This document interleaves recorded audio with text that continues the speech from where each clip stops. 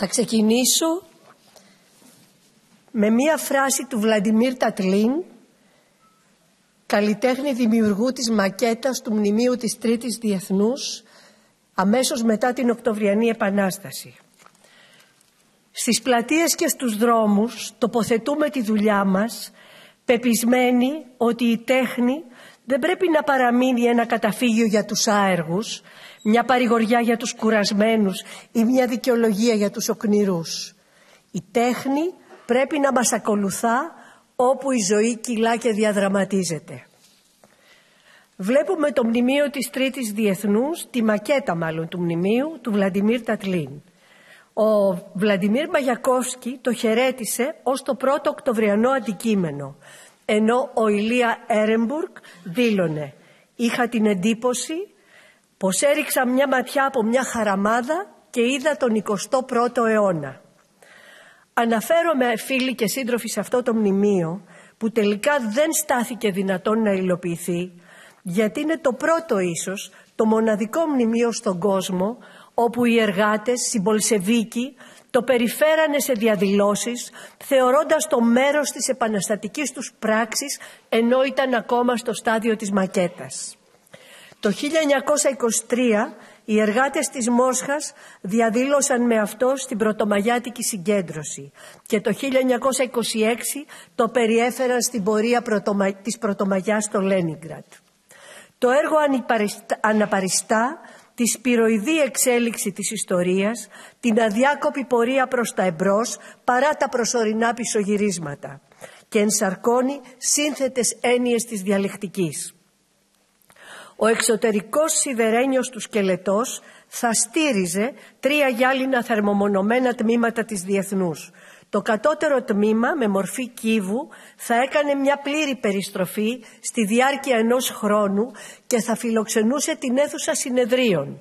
Από πάνω μια πυραμίδα θα στέγαζε τις διοικητικές δραστηριότητες περιστρεφόμενη αναμήνα, ενώ στην κορυφή ένας κύλινδρος θα αποτελούσε το κέντρο πληροφοριών με τηλεγραφία, ραδιοφωνικούς σταθμούς, εκδοτικές δραστηριότητες και θα εκτελούσε μια περιστροφή σε 24 ώρη βάση.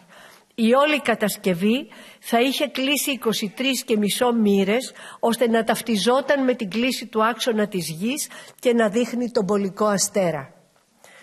Όπως κατανοούμε φίλοι και σύντροφοι από τη μεγαλειώδη σύλληψη του μνημείου της Τρίτης Διεθνούς σε όλη την πορεία της ανθρωπότητας, παγκόσμια και στον τόπο μας, η συμβολή των οικαστικών στη διατήρηση της μνήμης και στη διαμόρφωση της συνείδησης είναι αναντικατάστατη. Οι αγώνες του λαού ήταν πηγή έμπνευσης πάντα για τους καλλιτέχνες. Και εκτός από τα καλλιτεχνικά μνημεία στο δημόσιο χώρο θα πρέπει να θεωρήσουμε μνημεία και εκείνα τα καλλιτεχνικά έργα που κρατάνε ζωντανή τη μνήμη που δημιουργήθηκαν σε όλες τις περιόδους των μεγάλων ταξικών συγκρούσεων και αγώνων. Είναι και αυτά ένα αρχείο μνήμης των λαϊκών αγώνων. Το μνημείο στο δημόσιο χώρο έχει ιδεολογικό μεν περιεχόμενο, αλλά η μορφή του φίλοι και σύντροφοι, η αισθητική του, είναι εκείνη που θα δημιουργήσει διόντως διείσδυσης στην κοινωνία και συμβάλλει στην αφομοίωση του περιεχομένου του. Η οικαστική έρευνα, η αισθητική μελέτη, το δημιουργικό αισθητικό του ύψος και η μορφολογική επεξεργασία του δρούν παράλληλα με την πολιτική του στόχευση και την ιστορική έρευνα. Η μορφή και το περιεχόμενο, δύο έννοιες διαλεκτικά δεμένες άρρηκτα μεταξύ τους, συνδημιουργούν, συνδιαμορφώνουν το μνημείο, διαπαιδαγωγούν. Ένα μνημείο, θα πω, δεν είναι απαραίτητο να είναι πάντα γλυπτό όπως συνηθίζεται. Μπορούν κι άλλες εφαρμογές των οικαστικών τεχνών να δημιουργήσουν ή να συνδημιουργήσουν σημαντικά μνημεία. Το ψηφιδωτό, το βιτρό και πολλές μικτές τεχνικές. Από τους αρχαίους χρόνους ως σήμερα τα μνημεία μας διδάσκουν ιστορία. Βέβαια η διδαχή της ιστορίας έχει πάντα ταξικό πρόσημο. Γράφεται από την εξουσία την ταξική. Κάθε ιστορική περίοδο αυτοί που είχαν την εξουσία στα χέρια τους δημιουργούσαν μνημεία ώστε να διαμορφώνουν τη συλλογική μνήμη, να παρεμβαίνουν και να παραχαράσουν την ιστορία των ταξικών αγώνων. Γι' αυτό φίλοι και σύντροφοι έχει τεράστια σημασία για την εργατική τάξη να δημιουργεί τα δικά της μνημεία, να κάνει τη δική της παρέμβαση στη διαμόρφωση της ιστορικής μνήμης των λαών, να αποκαλύπτει την αλήθεια, να διδάσκει τους ταξικούς αγώνες που δίνει, να διαφωτίζει και να προτρέπει. Αγαπητοί φίλοι και σύντροφοι, το νεοσύστατο ελληνικό κράτος μετά την αστική επανάσταση του 1821 ίδρυσε από το 1834 το Σχολείο των Τεχνών, τη σημερινή Ανωτάτη Σχολή Καλών Τεχνών, γιατί ήθελαν να ρίξουν βάρος στην αγαλματοποιία και τη δημιουργία μνημείων που θα συνέβαλαν στη δημιουργία εθνικής ταυτότητας. Στην εξέλιξή του στη χώρα μας το αστικό κράτος χρηματοδοτεί μνημεία για να επιβληθεί ιδεολογικά. Υπόθηκαν πολλά γι' αυτό. Εξιδανικεύει και παραποιεί γεγονότα για να υπηρετηθεί μέσω των μνημείων αυτός ο σκοπός και να εξοραγιστεί ο ρόλος της Εκκλησίας και το, ή των Κοτζαμπάσιδων. Ενδεικτικά αναφέρω το μνημείο του παλαιών πατρών Γερμανού έργο του Γεωργίου Συνέφα το 1937 που είναι στο πεδίο του Άρεος. Όπως εδώ θα δούμε το μνημείο του Χάρη Τρούμαν που τοποθετήθηκε ύστερα από αίτημα τον Αχέπα το Μάρτιο του 1963 Κατ' επανάληψη το κίνημα ειρήνης με μαζικές κινητοποίησεις το έχει αποκαθιλώσει αλλά το ξανατοποθετούν θέλοντας να υμνούν πάντα τη σχέση της ελληνικής αστικής τάξης με τις Ηνωμένες Πολιτείες Αμερικής. Εδώ βλέπουμε το μνημείο για την Εθνική Συμφιλίωση που είναι στην πλατεία Κλαθμόνος μετά από διαγωνισμό που έθετε τους όρους για το περιεχόμενο του έργου. Συμβολίζει τις τρεις συνιστώσεις όπως βλέπετε. Η γλυπτική σύνθεση συνδέθηκε χρονικά με την ψήφιση του νόμου 1863 του 1989 που έθετε και επίσημα τέλος στον εμφύλιο πόλεμο.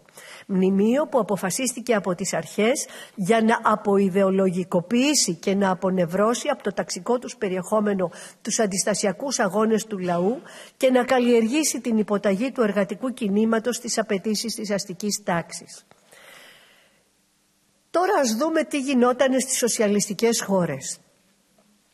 Στην αντίπερα όχθη της ιδεολογικής πάλης στις πρώην σοσιαλιστικές χώρες από την Επανάσταση και μετά την Οκτωβριανή δημιουργούνται μεγάλα εμβληματικά μνημεία εργατικά, αντιφασιστικά, αντιπολεμικά. Αυτό που είναι κοινό στα περισσότερα είναι η απόλυτα μελετημένη επιλογή του χώρου ανέγερσης ώστε να δεσπόζουν με σεβασμό και να σηματοδοτούν επάξια τους αγώνες του λαού. Είναι χαρακτηριστικό ότι τα μνημεία στις σοσιαλιστικές χώρες παρέμειναν ζωντανά στην καρδιά των λαών γι' αυτό και πάντα βλέπουμε και βλέπουμε ακόμα σε όσα έχουν μείνει στη θέση τους να αφήνει ο λαός λουλούδια τιμώντας με σεβασμό την ιστορία του. Θα σταθούμε σε τρία εμβληματικά μνημεία. Εδώ πρόκειται για, εργατικό, για το εργατικό μνημείο στη Μόσχα, ο εργάτης και η γυναίκα των κολχός ή η, γυναί, η αγρότησα. Μνημείο τοπόσιμο ύψους 24 μέτρων που δεσπόζει στην πόλη και ανεγέρθηκε για να συμβολήσει τον κοινό αγώνα εργατών αγροτών και το θρίαμβο της νίκης με τη Μεγάλη Οκτωβριανή Επανάσταση. Το άγαλμα δημιουργήθηκε από τη Βέρα Μουχίνα για την Παγκόσμια Έκθεση του Παρισιού το 1937.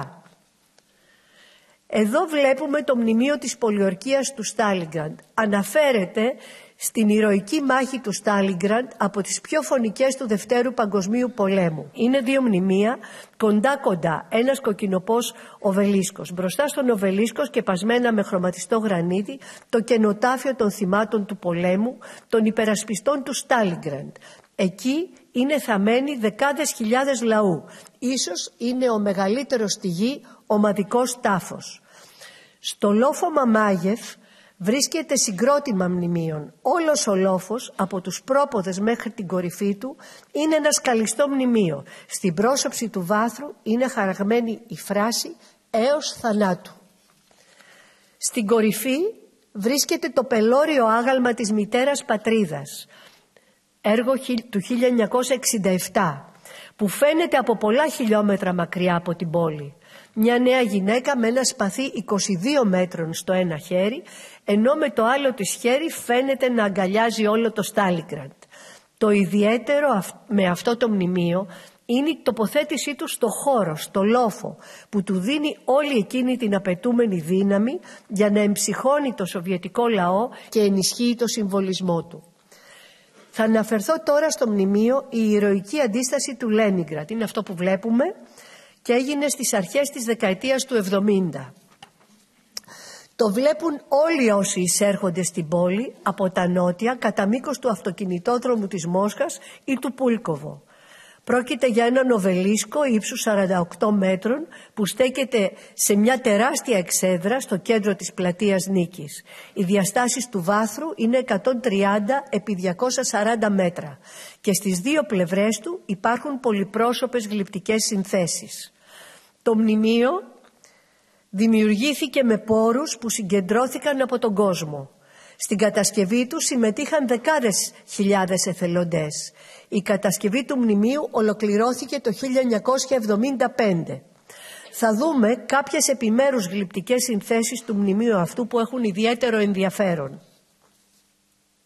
Στην ομάδα που δημιούργησε το μνημείο συμμετείχαν γλύπτες και αρχιτέκτονες.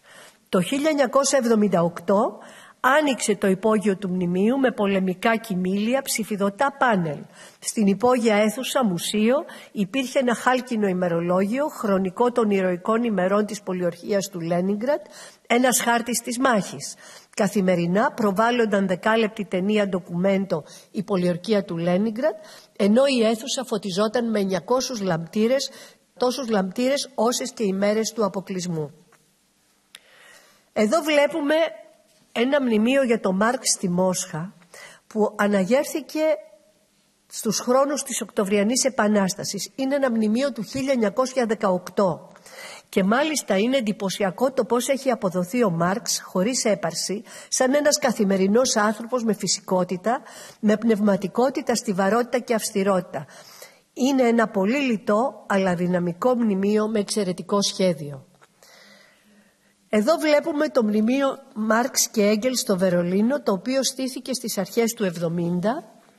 Όλος ο χώρος γύρω από αυτό είναι, ε, ε, από τα δύο αγάλματα είναι διαμορφωμένος με ανάγλυφα οικαστικά έργα. Τώρα θα σταθώ στην πόλη ζωντανό αντιφασιστικό αντιπολεμικό μνημείο τη Δρέσδη. Εδώ βλέπουμε το μνημείο για το Μαρτίνο Λούθυρο στη Δρέσδη το 1967. Η εικόνα δείχνει το πώς έγινε το μνημείο μετά το βομβαρδισμό της πόλης το 1945 από τους Αμερικανούς.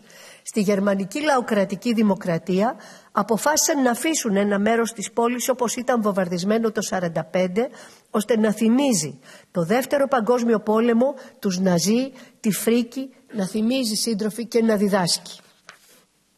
Είναι τεράστια η σημασία των μνημείων για το εργατικό λαϊκό κίνημα. Απόδειξη για τη σημασία των μνημείων είναι το ότι οι ανατροπές του, το 1989 και μετά στις πρώην σοσιαλιστικές χώρες σηματοδοτούν μια περίοδο ως σήμερα όπου συντελείται μια μεγάλη καταστροφή ιστορικών και καλλιτεχνικών μνημείων. Καταστροφή που καταδεικνύει το μένος των καπιταλιστών κατά των έργων τέχνης και των μνημείων που εξυμνούν ή θυμίζουν τα επιτεύγματα του σοσιαλισμού κατά την πρώτο πρώτη έφοδο της εργατικής τάξης και των συμμάχων της στον ουρανό. Έτσι, παρά τις όποιες περί πολιτισμού και περί ελευθερίας της έκφρασης διακηρύξεις της Ευρωπαϊκής Ένωσης και των κατεστώτων που διαδέχτηκαν τις εργατικές λαϊκές κυβερνήσεις στις λαϊκές δημοκρατίες, οι νέες πολιτικές αρχές, υποκινώντας νεοναζιστικά στοιχεία, κατέστρεψαν σημαντικά μνημεία και έργα τέχνης, κατέστρεψαν ό,τι δεν θα μπορούσαν να ενσωματώσουν ή να κερδοσκοπήσουν από αυτά. Τα κατεστραμμένα, βεβηλωμένα και αποκαθιλωμένα μνημεία κατέγραψε η Ευρωκοινοβουλευτική ομάδα του ΚΚΕ σε κατάλογο που προσκόμισε στην UNESCO. Η καταγραφή έγινε αναχώρα. Ενδεικτικά δείχνουμε τη βεβήλωση Σοβιετικού μνημείου στο Βερολίνο Μνημείο της δεκαετίας του 70 αντιφασιστικό που απομακρύνθηκε μετά τις ανατροπές από το Πανεπιστήμιο της Λιψίας και εδώ βλέπουμε αντιφασιστικό μνημείο στην πόλη Μπάλβη στην Ανατολική Λετωνία όπου οι οικοδόμοι αρνήθηκαν να το ξυλώσουν όπως ανακοινώθηκε από το τοπικό συνδικάτο. Βεβαίως το πήραν οι αρχές από εκεί με ιδιωτικές εταιρείες. Η συμβολή των οικαστικών στην, καταγραφή της ιστορικής μνήμης στην Ελλάδα είναι σημαντική. Οι Έλληνες οικαστικοί, γλύπτες κύρια μέχρι στιγμής, συνέβαλαν με το έργο τους στη δημιουργία σημαντικών μνημείων. Βέβαια η εποχή από την κατοχή ως τη μεταπολίτευση δεν επέτρεπε τη δημιουργία μνημείων που να σχετίζονται με τους αγώνες του λαού. Άλλωστε, πολλοί και σημαντικοί κομμουνιστές αλλά και γενικότερα προοδευτικοί οικαστικοί καλλιτέχνες την περίοδο αυτή ήταν σε φυλακές, εξορίες ή στην αναγκαστική σιωπή.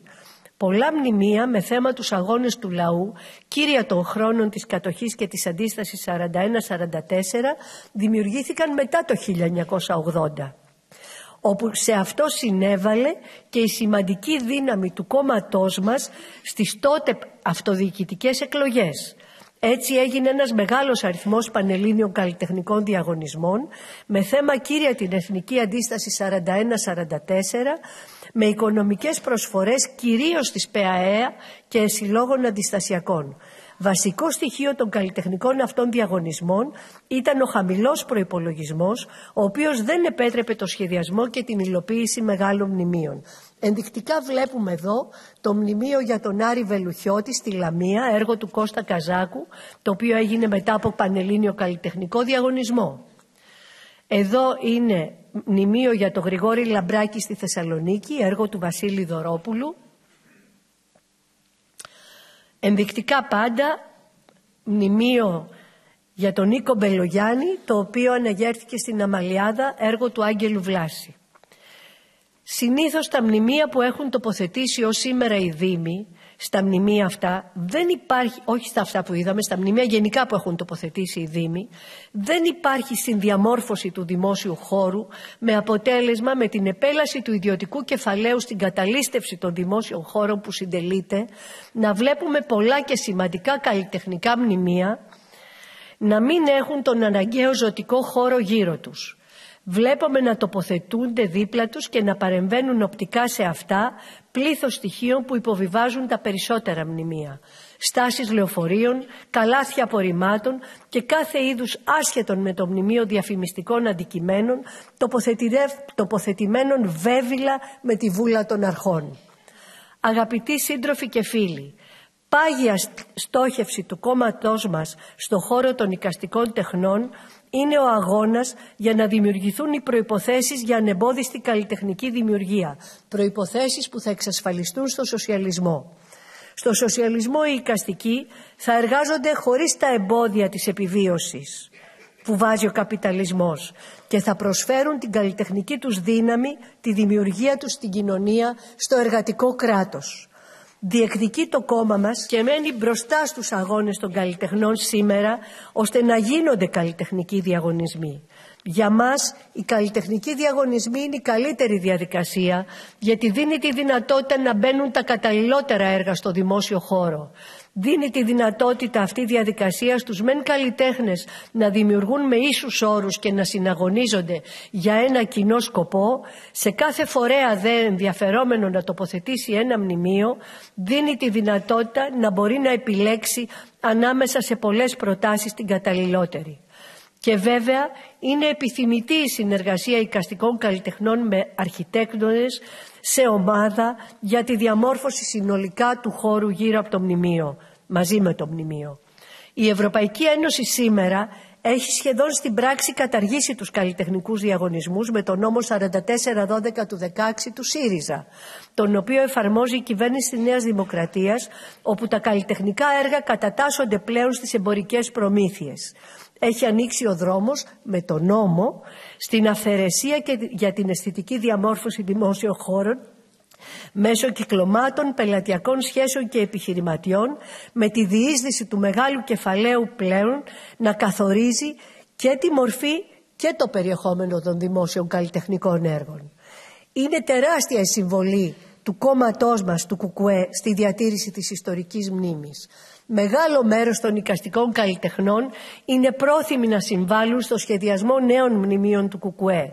Είναι περισσότερο από ποτέ αναγκαία η συστράτευση των καλλιτεχνών με το κουκουέ και η δημιουργία μνημιακών έργων που όχι μόνο ενημερώνουν πλατιά για την αληθινή ιστορία του λαού μας, για τους μεγαλειώδες αγώνες που έχει δώσει η εργατική τάξη στη χώρα μας, αλλά διαπαιδαγωγούν και εμψυχώνουν, κρατώντας άσβεστη τη φλόγα της αντίστασης και αντεπίθεσης με το όραμα της λαϊκής εξουσίας του σοσιαλισμού κομμουνισμού. Φίλοι και σύντροφοι, το ΚΚΕ, το κόμμα μας, είναι παγκόσμια πρωτοπόρο στον αγώνα για τη διατήρηση της ιστορικής μνήμης και την προβολή της αληθινής ιστορίας των αγώνων της εργατικής τάξης και του λαού με τη δημιουργία ιστορικών μνημείων.